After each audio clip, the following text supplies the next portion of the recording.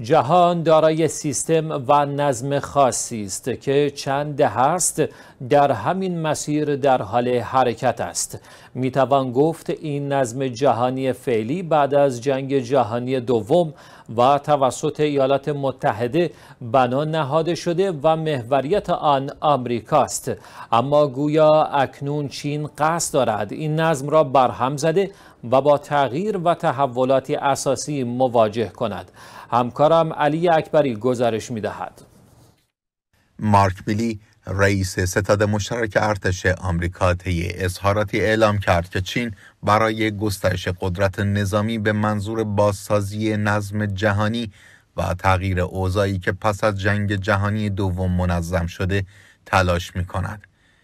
وی در گفتگو با روزنامه وال استریت جورنال اظهار داشت پکن از طریق سرمایه گذاری در نیروی دریایی موشک های مافوق صوت تکنولوژی های الکترونیکی و دیگر فناوری ها تلاش می کند چین را در کنار آمریکا و روسیه به کشوری پیش رو تبدیل کند. این ژنرال آمریکایی همچنین افسود ما در حال ورود به جهانی پیچیده تر از حیث ژئو استراتژیک هستیم جایی که تکنولوژی با سرعت بی سابقه ای در حال پیشرفت است و همه اینها اوضاع را پیچیده تر و چه بسا کم پایدارتر کرده است. مارک میلی تاکید کرد آمریکا باید برای همگام شدن با چین خود را بروز کند.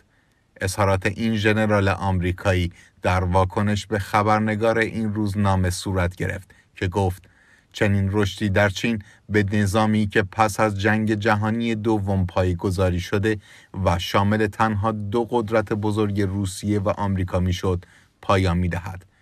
در پایان لازم به ذکر است به رغم اینکه پیشرفت تکنولوژی نکته‌ای مثبت به شمار می رود اما متاسفانه تجربه چند دهه اخیر نشان می دهد که هرچند پیشرفت کشورها در زمینه نظامی و تسلیحاتی بیشتر شود جنگ های بیشتری در نقاط مختلف جهان رخ می دهد و تعداد بیشتری جان خود را از دست می دهند.